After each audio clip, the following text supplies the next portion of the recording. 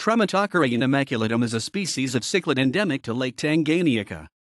This species can reach a length of 15 centimeters, 5.9 in, TL.